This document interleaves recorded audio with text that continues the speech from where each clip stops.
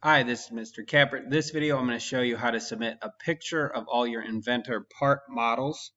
You want to first open all of your parts in Inventor and then what you're going to do is use the snip tool. If you go to this lower left corner and you type out snip, the snipping tool will come up.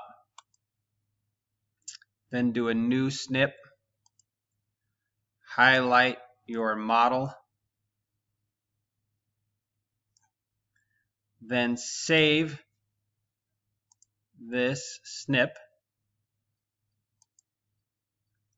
I would put it in a location that makes sense, like your H drive, a folder for the class, and then the project folder, I would put it into there.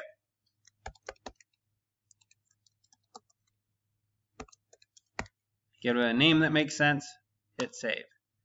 Now if you have a second part, close this out open that part up and then do the same process again using this snip tool.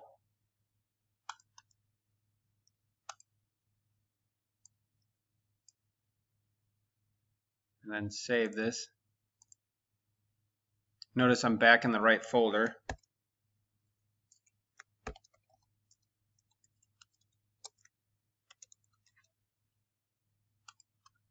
I could close that out and now you're going to go back into Canvas and you're going to submit these pictures. So choose the file. You remember you got to go back to where you saved it. H drive, I had in the CAD, I had a project folder for it. And normally you can highlight both.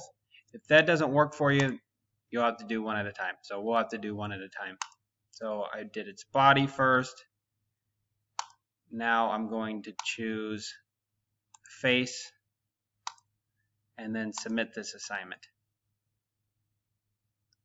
So that is how you submit a picture of your models in Inventor. Let me know if you have any additional questions.